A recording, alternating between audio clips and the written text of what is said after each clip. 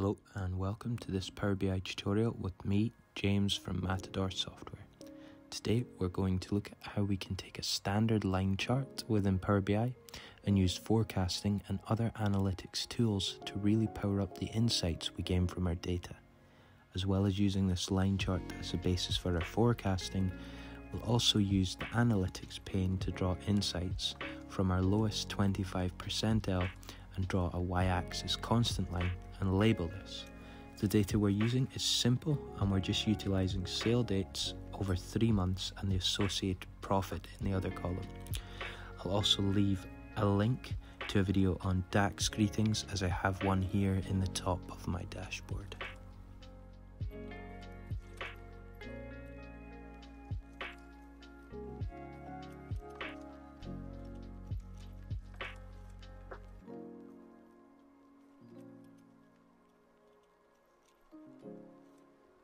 So it's important to note that as well as using the analytics pane and scrolling down, just to remember we can always search um, and forecast comes as standard within the analytics pane.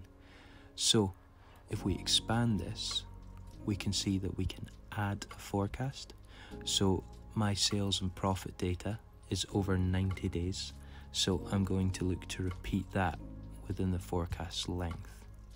So we'll change the points to days and we'll look to reflect 90 days in here.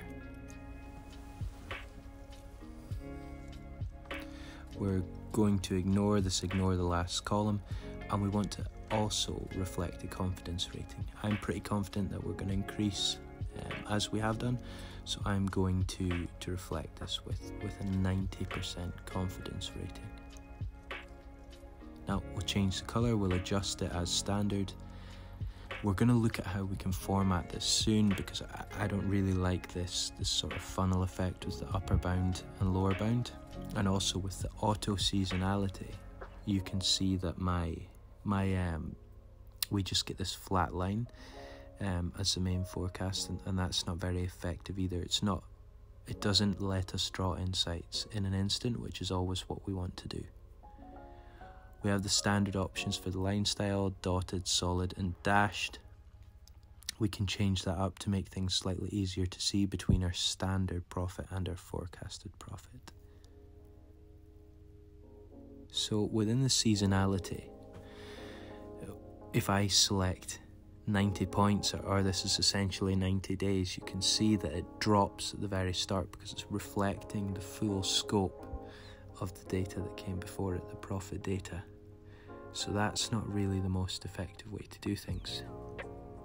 You can see that if I place 30 points last 30 days, this will increase exponentially in line with the, the pretty successful 30 days that we've had. We haven't had any major dips, so I could use that.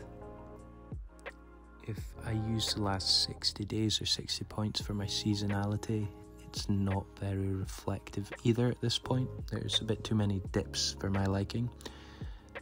So, if we use the last 45 days, this would be a pretty standard indication. We'd still want to reflect some of the, uh, the potential troughs, but this might be a good way to reflect the seasonality over the next three months.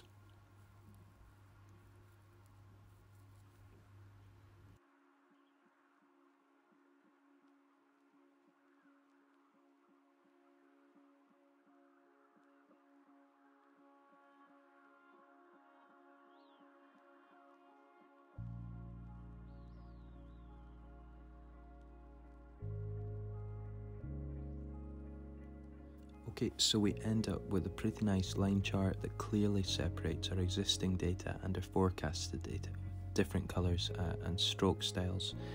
Now, usually I see people gravitate towards the trend line when they're looking at the analytics pane. What we're going to actually do is look at the y-axis constant line and I'm going to assign a value to that and format it. Now the reason I do this is because I want to set a number. And let's say it could be a good profit or the number we use to to open a new venue. And you can watch how I format this because I'm going to actually use the data label with the, the constant line name. And we can reveal even more insights. And then we can go above this line and look at every date on why this happened and this allows us to have some repeatability within our business and look at how we can improve things. So It's another example of how this analytics tool within the line chart can really power up our data.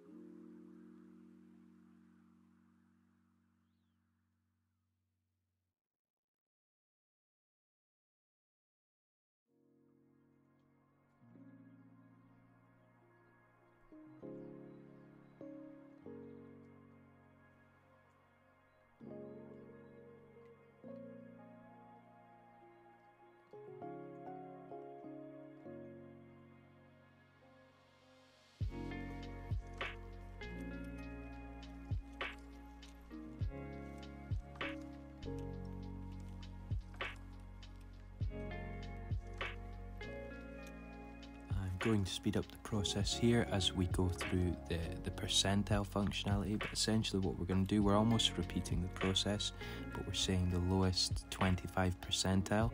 We want to again format this with the name we'll give an instruction to investigate these dates and we can see some troughs in our data later on than we would expect to have dips in, in profit. So we can actually again go and analyze this data look at why this happened and how we can avoid this in the future.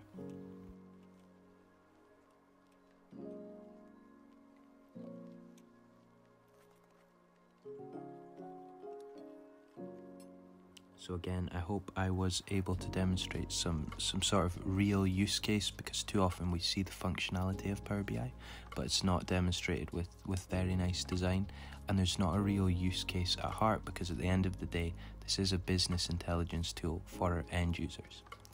As usual, if you like the content, please feel free to like, subscribe, comment and share. Thank you.